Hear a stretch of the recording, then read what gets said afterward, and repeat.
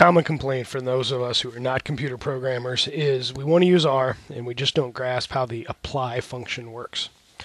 And I think to a lot of long-time R users, this is confusing, and they're just like, ah, use apply, use sapply, uh, tapply, solve all your problems, and it's totally non-intuitive for the beginner user or the non-programmer user or somebody coming from a different programming environment. Um, I'm going to give a quick example of why this strips my gears and how I used uh, Hadley Wickham's plyr package in order to get around my frustrations with, with apply or sapply. Um, I have a, a function I've created that, that grabs one year's worth of data. It's called get values. Um, here's an example get values from 2007. It's going to um, extract from a database values for 2007. And there they are. The values top six values for the record set. Let's look at how long that is. Hmm.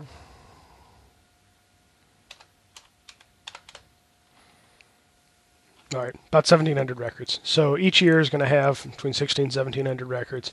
And what I really like to do is grab three years of data and get them all in a data frame, not unlike uh, what get values returns.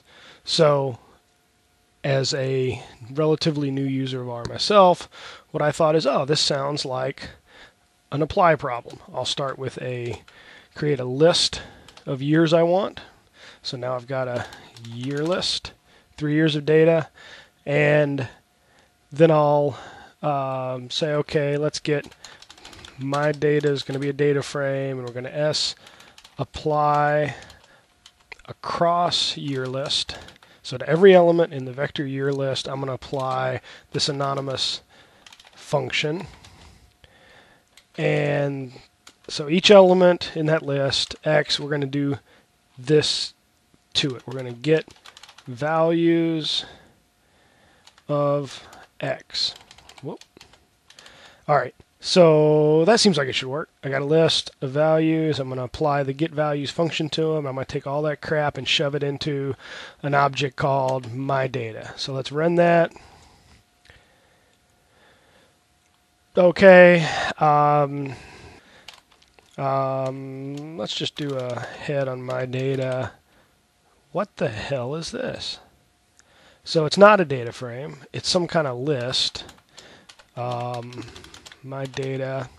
And this is the point where the average new user to R says, I have no effing idea what apply just did or what the sapply simple apply just did.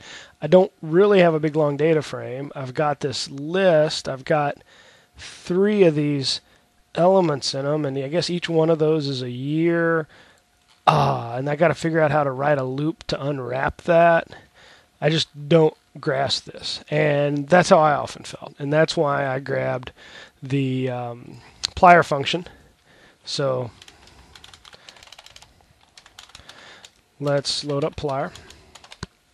And now let's do almost exactly the same thing, but you let's use the, one of the plyr functions. So I know that the thing I want to take in, the year list, is a list. So I'm going to use one of the list functions. What I want out is a data frame. So I'm going to use LD, take in a list, return a data frame, apply, and then year list. And exactly what I did before. Of uh, anonymous function, take each element, uh, run it through the get values function, return all that crap, shove it into my data. Let's see what this does. And it ran. Let's look at it. Hey, it's a data frame. Kind of looks like what I want. Let's do a structure on it. Wow, okay, cool. That looks right. Let's do a summary. Hey, that's exactly what I want. This thing has uh, three years of data. It's got the values I want, and it's a data frame. This is exactly what I want. And I think the process I just walked through is why apply just absolutely strips the gears of most uh, new R users. Is it just isn't intuitively what they were expecting. It isn't intuitively what they wanted to do. And uh, appreciate Hadley Wickham making the apply package to uh, make this a lot more intuitive.